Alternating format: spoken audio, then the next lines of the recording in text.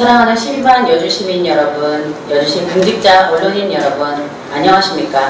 여주시의회 진선아 의원입니다. 저는 오늘 강천섬 힐링센터의 활용 활성화 방안에 대해 이야기하겠습니다. 강천섬은 강천면 불암리약 남한강 색강이 만들어진 섬으로 4대강 사업과 함께 지금의 모습으로 탄생했습니다. 넓은 잔디밭 안에 만들어진 약 1.2km의 은행나무길은 가을이 되면 노랗게 물들어 그야말로 예술로 큰 인기를 끌며 백패킹의 명소로 알려졌습니다. 여주시와 K워터는 업무 협약을 체결하고 공모 사업에 선정되어 본격적인 강천섬 명소화 사업을 추진하였고 2022년 10월 19일 강천섬 명소화 사업의 하나로 지상 2층 규모의 힐링센터를 준공하였습니다. 어린이 독서광장, 친환경 놀이터, 강의실, 다목적실, 정원과 휴게 공간을 갖추게 되면서 제2의 남이섬으로 불리며 수도권 관광명소로 거듭날 것으로 기대감을 주었습니다. 자연 친화적인 강천섬 조성을 위해 주차장과 다목적 광장, 시민 휴식 공간을 제공하고 태교 힐링 프로그램, 아이와 부모가 함께하는 각종 콘텐츠를 운영한다는 계획 아래 강천섬 일대 수변 공간 활용을 통한 문화관광 클러스터를 구축해 일자리 창출과 지역 경제 활성화에도 이바지하겠다는 목표도 제시했습니다. 민선 8기 들어서 이충우 시장님도 포스트 코로나 이후 일상이 회복이 일상회복이 자리 잡아가는 가운데 강천섬 힐링센터 준공으로 강천섬을 수도권 관광명소로 자리매김할 것이라며 강천섬 활용을 활성화시키겠다는 의지와 포부를 피력하여 왔습니다. 여주시로부터 강천섬 힐링센터를 위탁받아 안정적인 운영을 위한 시설 안전 점검 및 문화관광 프로그램을 기획해온 여주 세종문화관광재단은 지난 4월 28일, 29일 이틀간 강천섬 힐링센터에서 여주 안단태를 진행하였습니다.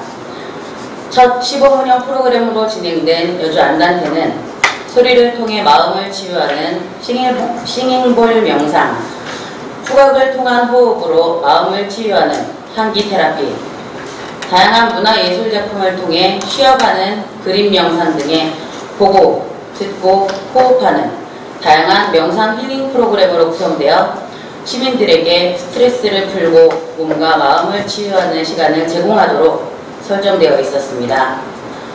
15분형 프로그램이므로 우선은 관내 16주 이상 임산부, 65세 이상 노인, 경찰관, 소방관, 다문화 가정, 한부모 가정 등 특정 계층 35명만을 대상으로 운영했지만 이용자들의 만족도 수요 조사를 바탕으로 하여 향후 여주 시민을 위한 특색 있는 프로그램을 기획 운영해 나가겠다고 했습니다.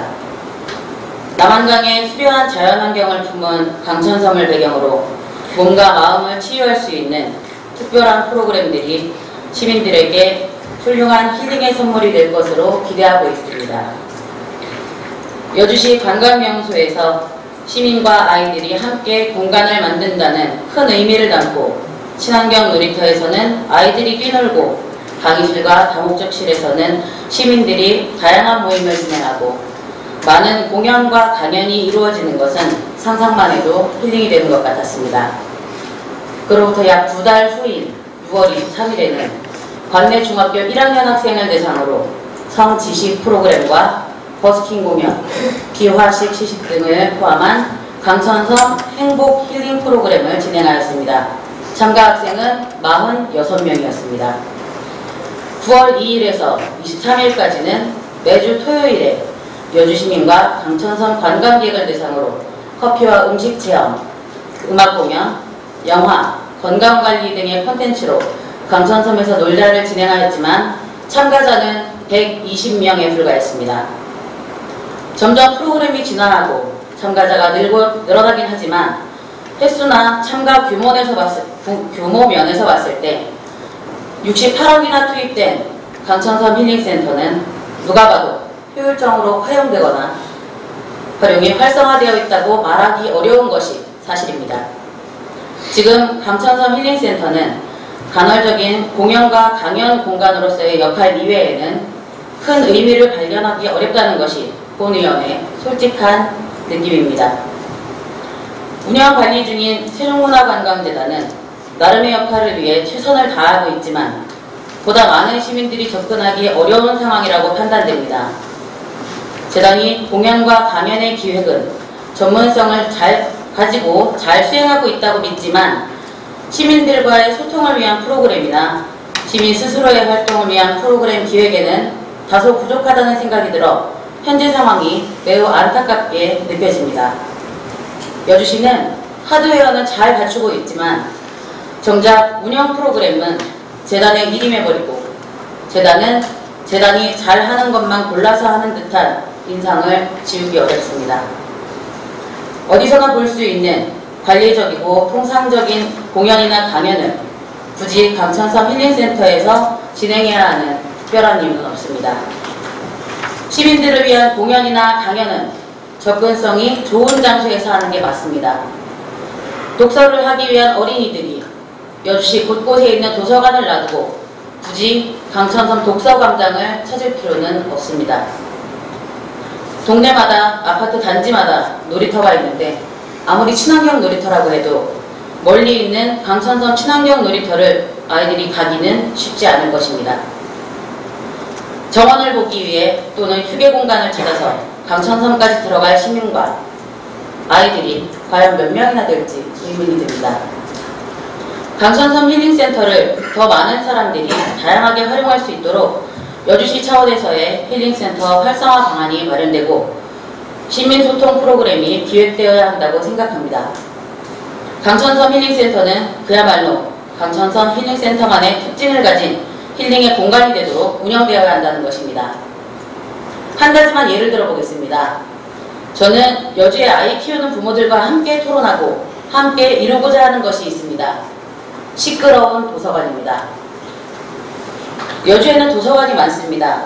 시립도서관, 세종도서관 등 비교적 큰 규모의 도서관을 비롯해 읍면동마다 도서관이 마련되어 있고 도서관은 가, 도서관을 갖춘 마을도 많습니다. 그런데 도서관은 그야말로 조용한 공간입니다. 또 아이들이 어려서부터 책을 가까이 하면 좋다는 것은 누구나 아는 사실입니다. 다양한 책이 많은 도서관에서 우리 아이가 책과 함께 놀 수 있으면 좋겠는데 아이들은 시끄럽습니다. 전형적인 도서관에 대부분의 아이들은 사실 적응하기 어렵습니다. 건강한 보통 아이들은 대부분 시끄러운 것이 기본인데 이 아이들이 조용해지기까지는 시간이 필요합니다. 아이들이 놀고 떠들면서 책을 봐도 괜찮은 그런 시끄러운 도서관은 아이들의 성장 과정에 필요하다고 생각합니다.